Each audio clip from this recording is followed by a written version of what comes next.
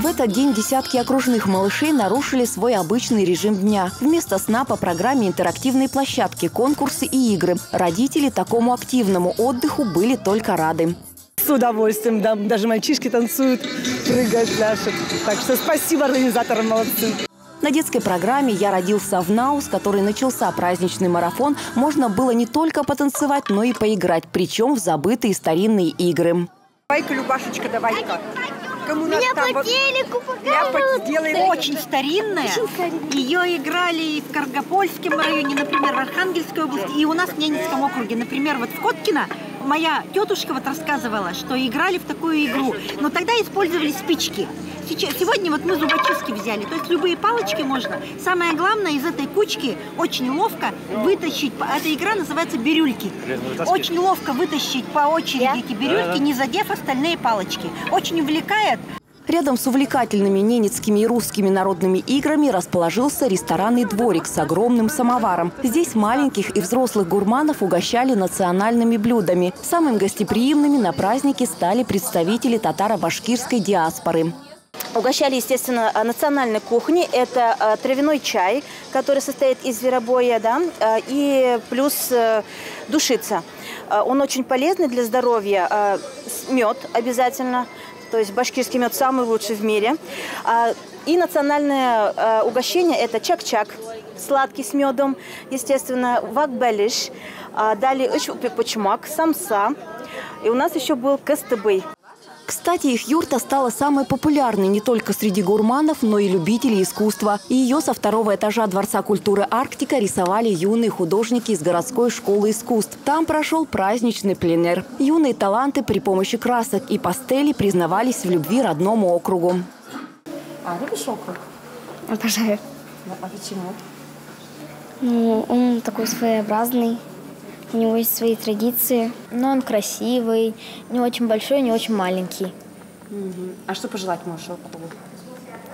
Я желаю, чтобы он строился еще больше и был еще красивее. Я просто изобрела двух оленей, а на них сидят девочки и держат «Мы любим Нау». Плакат «Мы любим Нау». А сама ты любишь Нау? Да, Почему? обожаю. Ну, мне он нравится, он такой как бы север, но он как бы такой холодный, но все равно я его люблю почему-то. Потому что это мой округ. Я люблю его. Я там родилась, тут.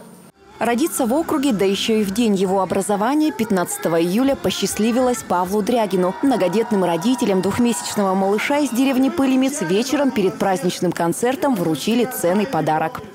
Да вообще не ожидали. Позвонила наша глава Татьяна Николаевна Жданова.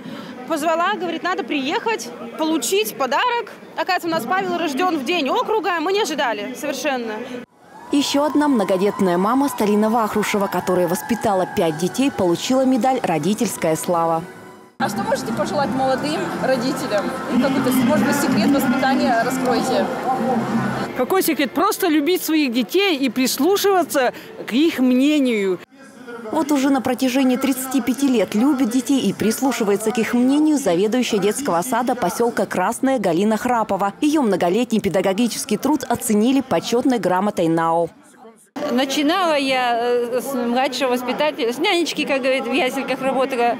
Потом закончила на воспитателя, отработала 19 лет воспитателем и с 2001 года работаю руководителем. Сочинение когда-то писали, и в третьем классе у меня до сих пор сохранилось это сочинение, и я всегда писала «Хочу быть воспитателем в детском саду». И моя мечта, конечно, исполнилась. Еще одну заслуженную награду получила наша коллега, главный бухгалтер телеканала «Север» Людмила Сингур. Ей было присвоено звание «Почетный финансист НАО». Это, конечно, очень приятное событие. И хотелось бы поблагодарить э, свое руководство, поблагодарить коллег, с кем я работала, с кем я э, сейчас работаю. И, конечно, поздравить всех нас с праздником. Всего государственные награды Ненецкого округа получили 23 человека. Это люди, работающие в разных отраслях нефтегазодобывающей промышленности, здравоохранения, образования, энергетики. Продолжился общий праздник концертом, на котором выступили специальные гости – московские артисты, группа Feist Family и певица Максим. Завершился праздничный марафон красочным салютом.